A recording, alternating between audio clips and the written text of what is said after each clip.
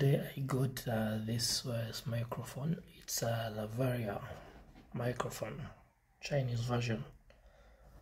So let's open and see what is in. We have um, an instruction manual we have the English side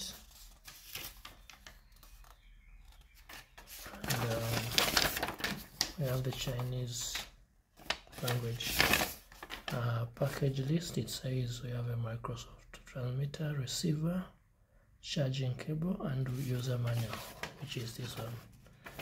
Okay it has uh, two microphones and a receiver. The receiver is the middle one so let's remove them and see.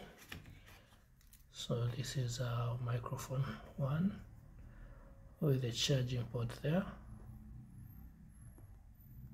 There it is and um, it has a power button. Microphone two. Let's first pull out the receiver. This is the receiver.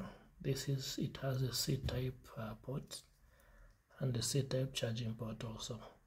This plugs into the phone. Uh, please note um, this is for android. Um, there is a version for iphone so if you need an iphone you need to specify the one you need uh, the second microphone. Uh, same specs.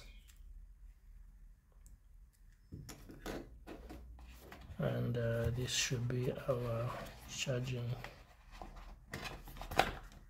Okay. Looks like they opened it it's done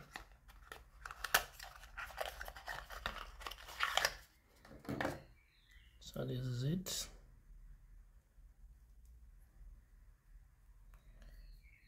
basically charging cable so you might not be having uh, you have to charge it either via your computer or any other charger that has a USB the normal USB to its own which is type C